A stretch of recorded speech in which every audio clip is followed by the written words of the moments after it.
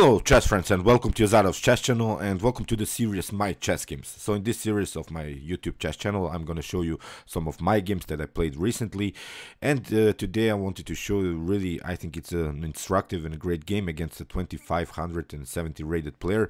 Uh, I played it uh, game yesterday. I've shown this game also in my community tab uh, in this uh, of my YouTube chess channel but I wanted to show you really a proper analysis of this particular line because this is I think a very instructive instructive uh, chess game that you can use in order to get a better understanding how to play against the Maroczy bind of the hyper accelerated Dragon Sicilian defense because uh, if you're familiar with my YouTube chess channel I've created also this series uh, the hyper accelerated Dragon Sicilian defense uh, in which I've sh shown you already about 25 uh, videos how to play this very nice and aggressive opening. So this game that I wanted to show you today will be added also in the hyper accelerated Dragon Sicilian defense series. For those who have maybe troubles to play against e4 you can also check it out. I'll show you the link of this series also at the end of the video and also i'll show you the link of this link of my chess game so you can maybe uh, follow uh, some of my games and maybe have a good opening preparation against e4 so this um, will be really an aggressive game and basically my opponent uh, which was basically a stronger opponent uh, he had better rating, rating than me but he went really into one of my lines that I've really uh, prepared, in which I have a really a deep preparation, and uh, I wanted to show you some great tactical motifs that can, you can play in this Maroczy bind setup that my opponent uh, has played here. So let's see the game. e4, uh, I played the move c5 after knight to f3. I played the common move g6. Uh, as I explained already, this hyper accelerated Dragon Sicilian defense uh, you should if you start to watch the series watch it from the introduction video then after that uh, you can check out some more particular lines that can happen to you in this very very nice opening. So uh, after the move d4 we have c takes d4 uh, knight takes d4 uh, bishop to g7 and now c4 so this is now the setup of white uh, white has a, a central control with this knight and these two pawns and one of the bad things for white is always the problem of the light square bishop because this light square bishop is a little bit blocked out by its own pawn on c4 i played the move knight to c6 challenging the knight on d4 and in some occasions you see that your opponent will try knight to c2 i've explained also uh, this particular move in in the hyper accelerated dragon sicilian defense series. My opponent tried the natural move bishop to e3 i played knight to f6 with an attack on the e4 pawn uh, knight to c3 and now castling.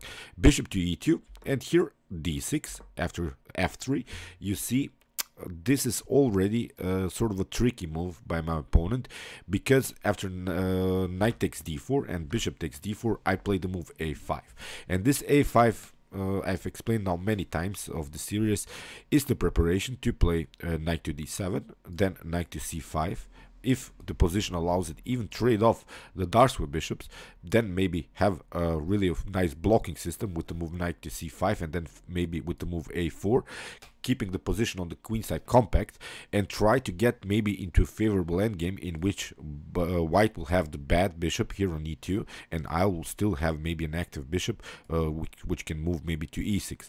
So these are really the strategical elements of this hyper accelerated Dragon Sicilian defense against the bind and my opponent played the move queen to d2 and uh, it's really an, it seems like a natural move nothing special nothing fancy as i always like to say but there is really one uh, good idea of why it's uh, about this move queen to d2 uh, for instance if i play a passive move like bishop to d7 immediately uh, then my opponent could queen go queenside castling you and try the move g4 h4 uh, the common h5 attack like in the yugoslav attack. It's similar to the yugoslav attack against the dragon sicilian defense.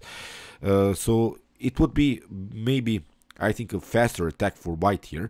So that's why i decided after the move queen to d2 uh, to not allow my opponent to castle queenside immediately. Uh, I wanted to force him to castle on the king side. The that's why this queen to d2 uh, move was really a tricky one. Um, I really want him to castle on the same side, then we don't have this opposite side attack game, which I wouldn't like in this particular position. So that's why I played the move a4. So now if my opponent, for instance, queen uh, castles queenside, I'll have immediately the move a3. Uh, it and it would uh, really weaken the pawn structure. My opponent would be forced to play something like b3, and the position around white king would be already endangered. Then I would try maybe something like bishop to uh, d7, and maybe try uh, even a pawn sacrifice with the move b5, just in order to open maybe the c file for the rook. So this would be uh, also dangerous for white now after the move a4 to castle on the queen side. So that's why my opponent finally uh, castled king side and now when the uh, kings are on the same side i'm sure that my opponent will not try uh, now some flank attacks with the g4 uh, and h4 similar ideas because if he does it then he weakens his pawn structure even further in front of the king. So that's why here i think I have at least equalized the position. I still have some uh, possibilities and now I want to go with my plan to play this move knight to d7, knight to c5, again trading off the dark square bishops and again try to um, continue and go maybe into an endgame uh, in which uh, white has this bad bishop. So I hope I'm not complicating too much for you. These are really the strategical elements. This is really some of my deep preparation against the Maroczy bind. In the game, uh, I play bishop to d7. I want uh, to bring the bishop first on a natural square. Maybe a better idea for me would have been to play uh, queen to a5 now immediately. Um, okay, but there are maybe some tactical threats after rook to d1. Then my opponent could try knight to d5 and knight to e7. Uh, this is also a common tactical possibility to grab sort of a pawn here uh, for white. Uh, that's why uh, maybe queen to a5 better move, but um, here I played bishop to d7. Uh, now my opponent tried rook to d1, getting this uh, rook on the same file like the queen. For instance, if the position clears on the d file, then my queen could be endangered. And I played now bishop to c6. Here we have rook from a to c1. And now I tried this idea, knight to d7.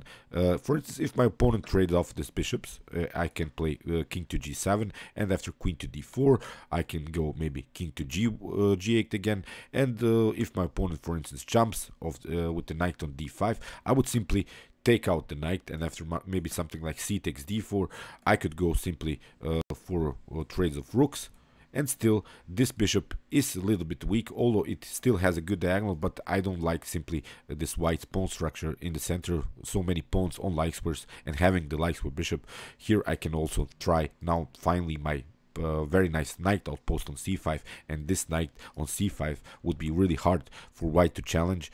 Uh, this would be really sort of an octopus knight in which my opponent uh, basically cannot challenge it. And I can go even in with some in some positional trades of pieces with queen to b6 trading off the queens because if the queens are off the board then I have simplified the position. As I said uh, I played against a player who had uh, 200 uh, rating points more than me so I decided to simplify the position as fast as I can. So uh, that's why after the move knight to d7, you see my opponent tried to complicate the position and stayed with the bishop on the board with the move bishop to e3. And now I tried knight to c5. Anyway, if bishop takes c5, uh, d takes c5, uh, this is not a good position here for white because now in the next move I can occupy this uh, square d4 with my bishop and this bishop would be really hard to challenge for, for white. Uh, you see with these problems around the, the king, white will have darker problems and this bishop would be really the best minor piece on the board.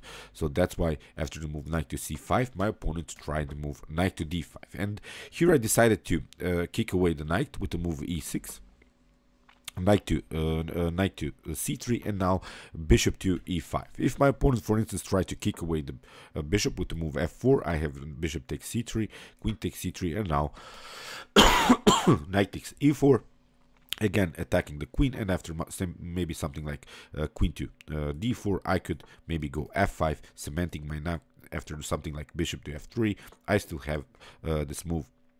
Uh, uh, d5 in order to support my knight.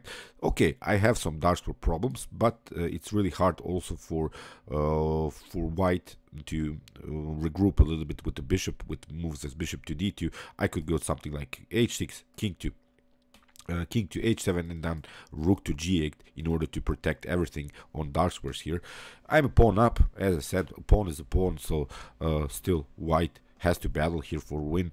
Uh, that's why my opponent, after the move bishop to e5, didn't go into this f4 line. He tried the move knight to b5. And this is now a part really of my uh, preparation of this Maroczy bind. This knight to b5 is really a mistake which your opponent can make in the Maroczy bind setup.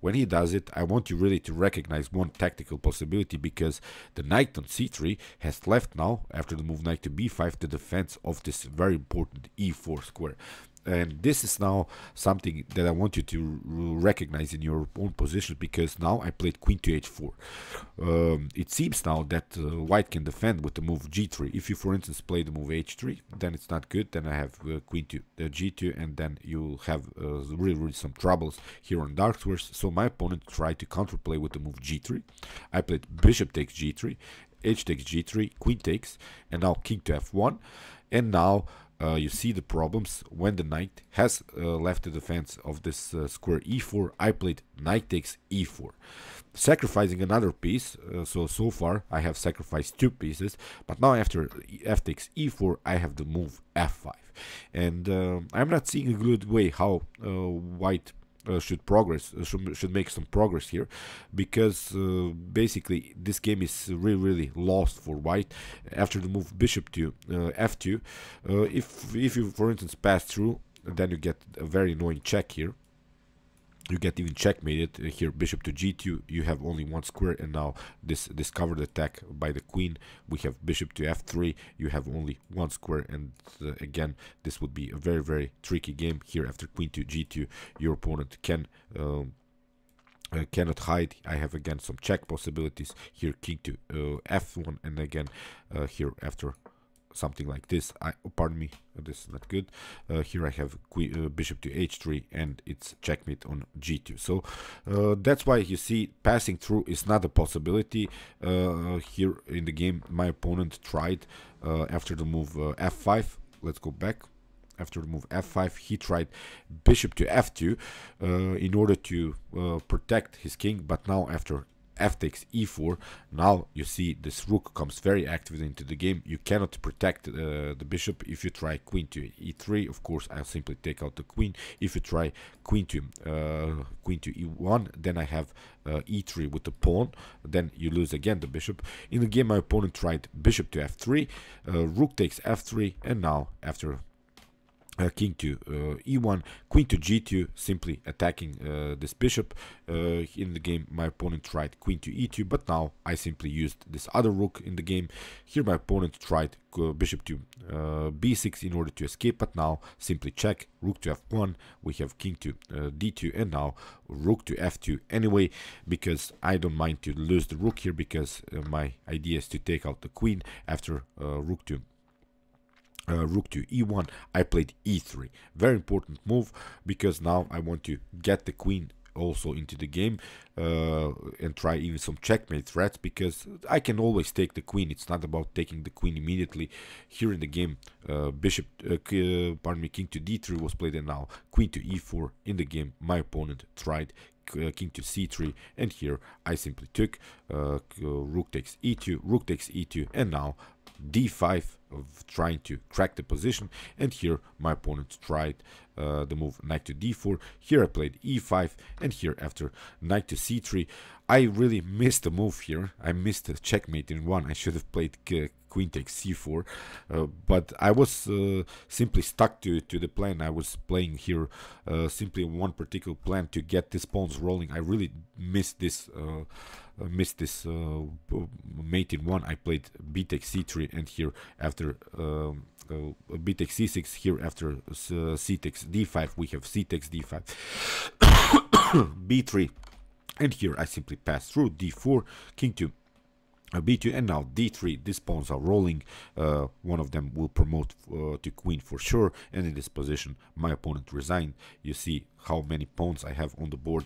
As said this is now completely winning endgame here for me and uh, this was game over so I hope you realize these ideas uh, let's go back this mm, this I want you to really memorize this particular moment when your opponent tries to attack your d6 pawn. It seems now that you have lost the pawn because uh, after the queen was here, you cannot protect anymore the d6. Now queen to h4 attacking and after g3, bishop takes, uh, h takes, queen takes and now a very important move to recognize knight takes e4 sacrificing another piece with the poss possibility to simply pass through here with the move f5 opening the f file combined with this bishop. This is really a deadly attack against this Maroczy bind setup that my opponent has prepared Okay, I hope you enjoyed this video. Meanwhile, you can watch my other uh, chess games, my chess games that I've so far analyzed, and you can also watch the series Hyper Accelerated Dragon Sicilian Defense.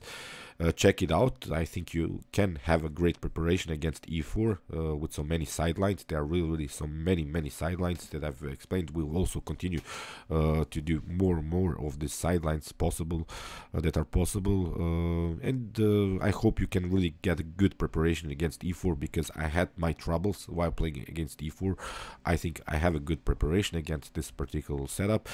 Uh, and uh, check it out uh, as I said. You can also watch my King's Indian videos in which I show you also a nice and effective weapon uh, while playing against d4 and you can also subscribe to my channel if you like this content. Thanks you for watching guys and uh, chess is the best of course